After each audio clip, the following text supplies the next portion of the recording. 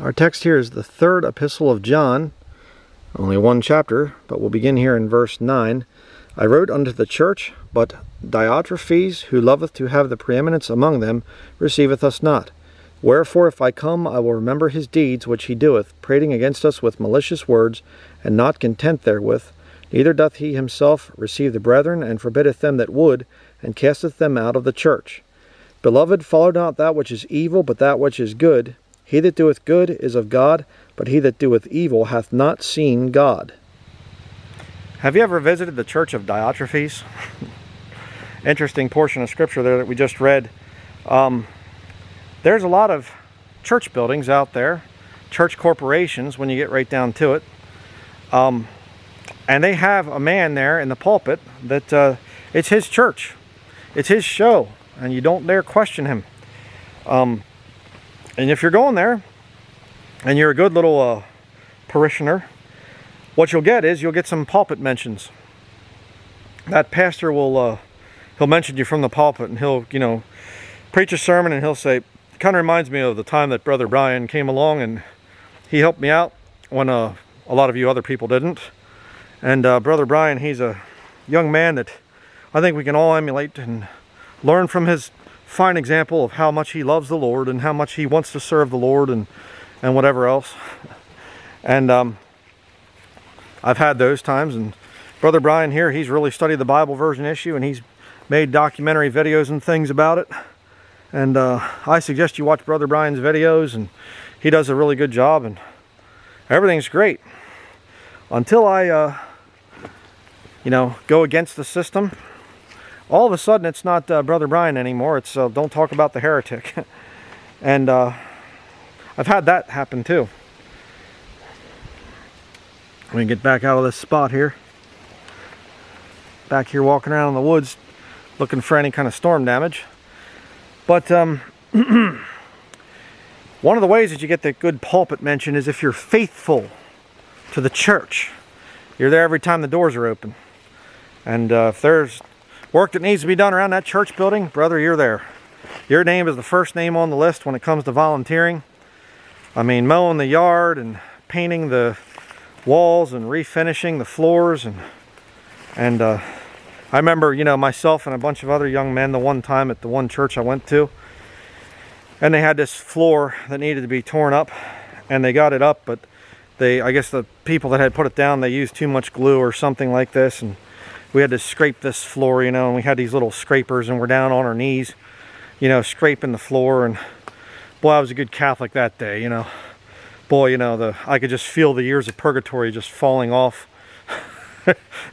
you know, I mean, oh, brother, you know, it was such a blessing to see Brother Brian and Brother, the other two that were with me. And, and uh, oh, it was so neat to see these young men in there on their hands and knees, scraping the floor while the rest of you were at home watching sports on TV. And if we could only learn from the blessed example of our dear brothers here. and then, you know, went up to the pastor after a while, you know, and said, uh, uh, God's calling me elsewhere. I, I don't belong here. And, um, you know, I've been studying the Word of God, and there's no scripture for church buildings and things. Oh, okay, okay, all right. Um, okay, well, uh, are you an atheist now? No, I just said I'm studying the Bible. Okay, Okay, all right, all right. Well, um, okay, well, uh, are you leaving this week? Well, yeah, I think I'm going Okay, all right, well, um, there's the door. okay, thank you. Uh, thank you uh, for all the time I spent here and all the hours and everything else. Uh, yeah, okay, yeah, all right, well, you know, it doesn't, didn't work out. Okay, go.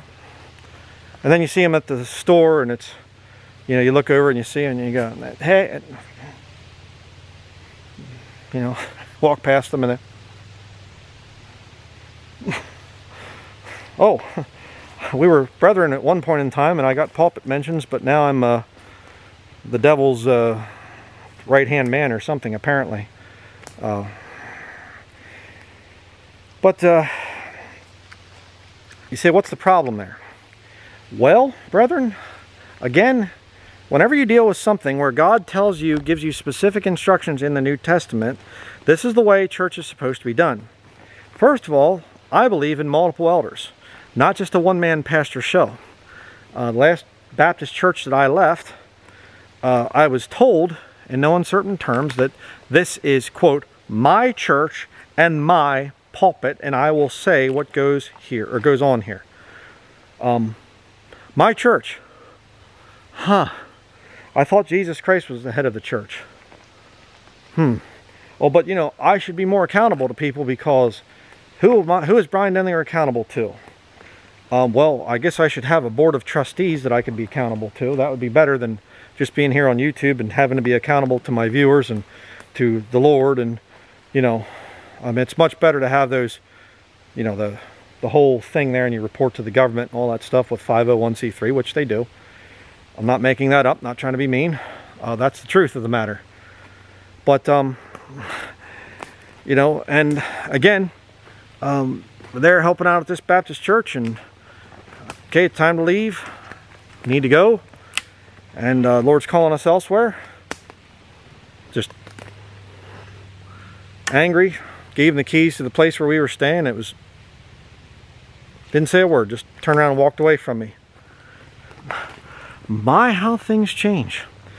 You see, multiple elders are necessary to keep it from becoming a one-man show and keep it from becoming this prideful thing where all of a sudden these guys uh, just get all full of themselves, you know, and they start to teach false doctrine, but nobody can say anything because he's the guy that owns the church building and, you know, he's the president and CEO of the corporation there. It's a problem. So that's the first problem with church buildings. That's why God never said build a church building. Right? In the New Testament, you won't see that one time. Right now we're going through the book of Second Chronicles and we're reading about how Solomon built a house for the Lord and and everything. Decked it with gold and all this stuff and precious stones and silver and everything else. This, this is overlaid with gold and all this. And what happened to it? It went pagan in one generation. Literally, one generation.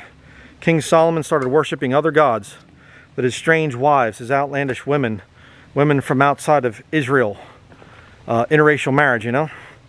And, um, you know, they brought in their strange gods. Hmm, it's a problem. But you see, now, now we can do it different. You see, in the New Testament, uh, yeah, they didn't have actual church buildings that were Christian. Yes, that's true, Brother Brian. But, um, you know, we can have church buildings and it's fine and it's wonderful. Okay? Did Christians have them a thousand years ago? Uh, 1,000 years ago? Well, Catholics did. No, I didn't say Catholics, I said Christians. Christians aren't Catholics. Um, no, Christians did not have church buildings at any time throughout church history. They didn't. They just simply didn't. Because what you have is you have Diotrephes, a one-man pastor show, and he thinks that he's got the right to say what goes on there, and he can kick people out, cast them out of the church, and say, you're out, you're gone. If I see you on the streets, I'll shun you, you know? And, um, I mean, don't get me wrong, you have a right to kick out heretics, certainly. Somebody comes in and they're bringing all kinds of satanic, wicked stuff trying to get people back under the law, trying to get people away from the resurrection, trying to get people thinking that they can lose their salvation, they have to work for their salvation and everything else. You know, yeah, kick them out. Absolutely. But uh, when you're dealing with people, well, I just don't like that guy. I just don't like what he says, and I don't like this, and I don't like that, and I'll just, I'll close the doors to my little church building. Not supposed to be that way. So I'm going to leave some sermons here at the end of this video. If you're a new subscriber and you don't know what the Bible teaches about church buildings in the New Testament, where we are currently at uh, this point in time, um, you can watch these. And one other point I want to make about the church building issue is you have a double life. The one that you live while you're in church and the one that you live when you're not in church. Uh, that's a problem. You see, the New Testament teaches that we are the body of Christ and you're in church 24 hours a day, seven days a week. Now there's the assembling of the saints, that's another thing. But that assembling of the saints is not the same thing as being in fellowship with the saints as far as we're all one body. You know, you don't walk outside of the church building and all of a sudden there's, you know, a little sound of thunder, you know, and, and you're now out of the body of Christ or something. No, you're in the church. You are in the body of Christ. The church and the body of Christ are synonymous, you see? Same thing, said different ways. So it's just very dangerous, this whole church building thing. That's why I've, you know, kicked it for so many years now. But I see people and they're coming along and, why are you against church buildings? Why are you against church buildings? Well, because every single one, I don't care how quote unquote good it is, they all have cliques.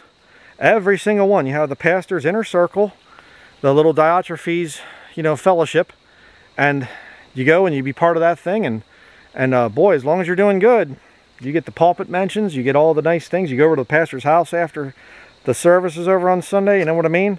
And you get the good meals and, and you sit around and you laugh about this and that and you get to gossip about other church people.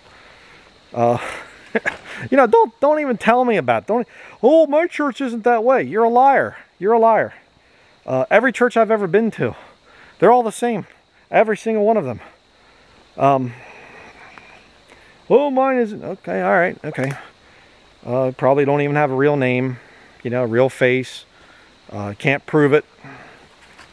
You just tell me, oh no, ours isn't that way, and I'm supposed to say, oh, well, I'm sorry, I'll just change my stands. Uh, no, I'm not changing my stands. That's why I have to tell people, stay away from the church buildings. Stay away from them. I mean, you can go. I don't care. You can do whatever you want to do. But you'll be disappointed if you're truly searching for the truth. If you truly want a separated life, a life where you're pleasing God. Um, at one point in time, you might have been able to go to church buildings and feel some pretty decent fellowship there. But they, they've never been right. They've always had contention and issues and things. So, I have a little intruder over here. You saw, caught a little glimpse of him. There he is, right over there. Our poor son here, you know, he's he's been scarred all of his life because he has never been to Sunday school or anything else. He just gets taught the Bible, you know, at home because we talk about the Bible all the time. He knows most of the old hymns by heart because we sing them all the time. Oh, there he went. Losing sight of him here.